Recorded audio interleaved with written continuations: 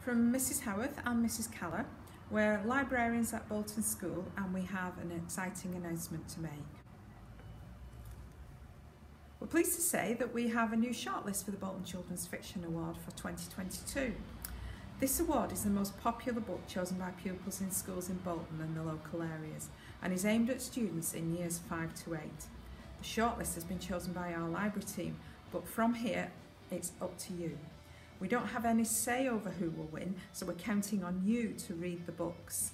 Cast your votes at the start of the summer term and then get join us to find out who the winner is on the 1st of July uh, 2022. The announcement of the winner is always a really exciting event. Last year it was a low-key affair, although we still managed to vote and select two winners and you can see the photographs of the winners behind us. Rather than an in-person event, we interviewed the winning authors. The winner announcement and the related videos are all available to watch, so please contact us for details. This year there's going to be a lot more on online content which will be great as it gives the opportunity for schools who can't travel to Bolton School for the award to participate in the event. Over the next nine months our book club readers will be talking to each of the authors via video conferencing. These videos will then be sent out and we hope you'll enjoy watching them in your book clubs or English lessons when you discuss the shortlist. The first video will be sent out very soon. So, without further ado, here is our shortlist. The first book is The Boy Who Made Everyone Laugh by Helen Rutter. We selected this book as it has great appeal as both a funny book and a story about being kind to other people. This is a book about a boy called Billy who's extremely self-conscious as he's a stammerer. He is also starting secondary school and at the beginning he avoids talking at all as he's so frightened that other students will bully him about his speech impediment. What complicates matters further is that Billy wants to be a comedian, encouraged by his beloved Granny Brett.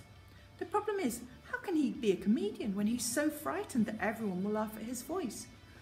Billy is desperate to be liked and normal and embarks on various internet cures to try to cure his stammer.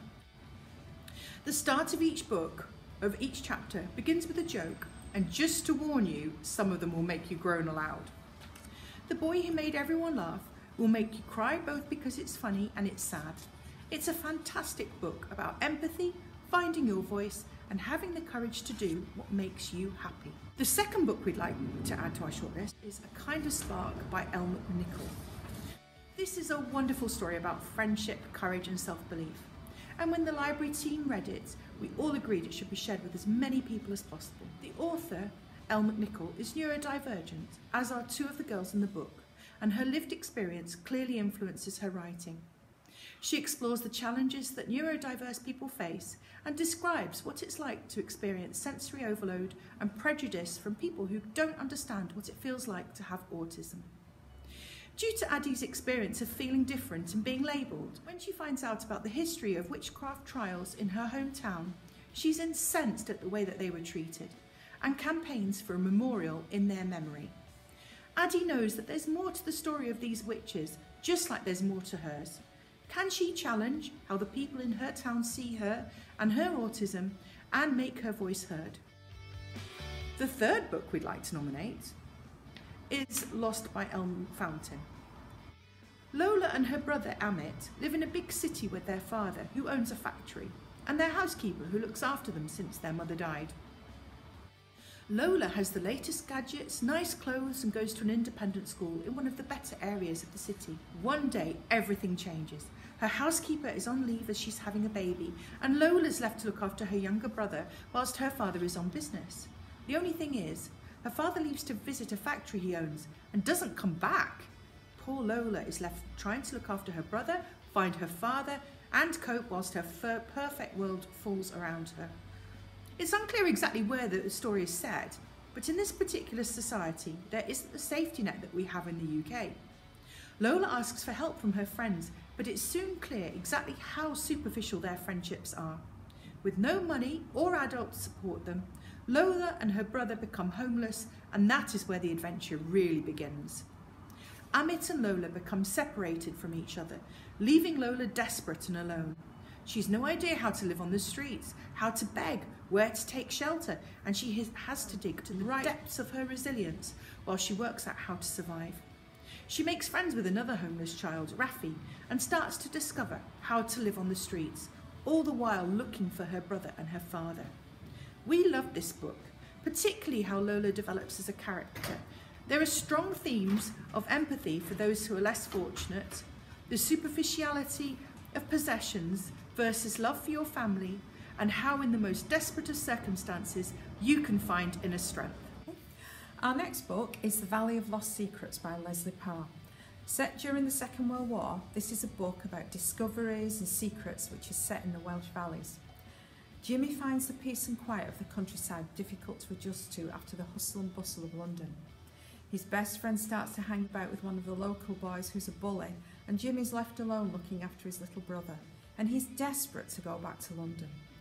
But then things, things begin to change because when climbing a tree, Jimmy makes a gruesome discovery and life in the village becomes much more exciting. Has there been a murder? Or perhaps there are spies amongst the villagers? This book would be perfect for fans of Emma Carroll's Letters from the Lighthouse. What we liked about The Valley of Lost Secrets was the mystery of the heart of it and the illustrations at the start of each chapter which tells a story. And if you really enjoy mysteries, codes and secrets, see if you can find the hidden message in the book. Our next book is The Island That Didn't Exist by Joe Wilson. Imagine being woken in the middle of the night to hear that a distant relative you'd never known had died and that you'd inherited an entire island. That's what happens to 12 year old Rickson. As well as the island, Rickson's great, Rickson's great uncle has left him a stack of newspaper cuttings about a party of South described as mega boffins who went missing after stealing a lot of secret information and a memory stick which has some strange unreadable files on it. But quite what this has got to do with Splinter Island is not clear.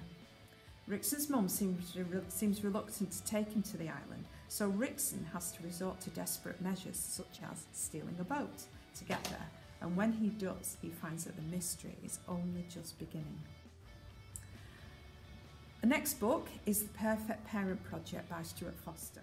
While most of the books on this shortlist are first novels, The Perfect Parent Project is Stewart Foster's fourth book, and you may well have read uh, some of his other books. This book is about a boy named Sam who's been in foster care for most of his life. He's lived with families where he didn't fit in, and even more sadly, others where he was happy, but then suddenly found himself being moved on. This means that making friends and fitting in at school has been difficult, and he's given up on trying to fit in. He does, however, have a list of what a perfect parent should have, such as a BMW M5, a flat screen TV, and take him on holidays to Disneyland. So he decides to take the matter into his own hands with a plan that will find the perfect parents for him. His first plan is a disaster, but when he sees a family who would be ideal, the plan steps up. However, things aren't easy, and Sam soon finds himself getting into increasingly complicated situations as he tries to find his perfect family. This is a book that can be really sad at times, but it's told with humour and that makes the story really readable. As a reader, you can see things both through Sam's eyes, but also you can see the much bigger picture as it begins to emerge, and you see that the very thing that Sam is looking for is actually much closer than he knows. So thank you for watching this video. We hope we've given you a flavour of the books and an insight into why we chose each of them. And it's now over to you to read all of the books and vote for your favourite in April. Meanwhile, if you want to find out more about the books, some of them will have book trailers and we will be sending out the details to your teachers.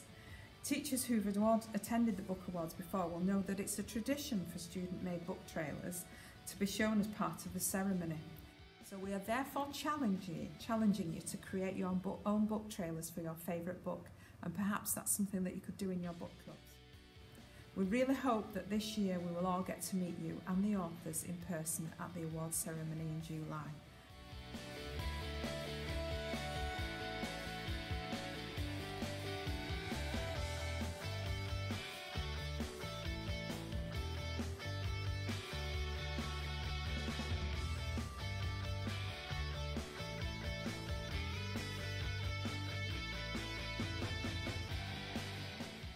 Until then, goodbye.